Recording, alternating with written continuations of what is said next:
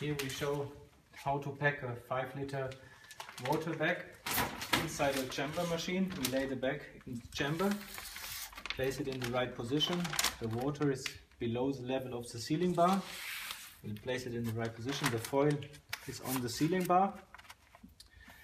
This is a position and now we can close the lid.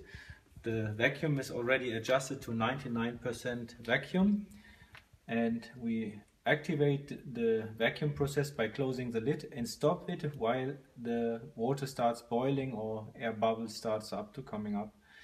Uh, I close it right now and you see I have one finger on the stop button and have to have an optical control while I look inside of the chamber to see when it starts boiling. Now the boiling point is near and in the moment when the, the bubbles come up, the air bubbles come up, I press here to stop. Sealing is activated right now.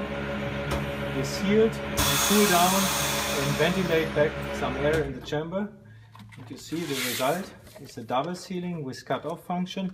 Here, cut off the dirty things on the back and we show this is a 5 kilogram or 5 liter water bag.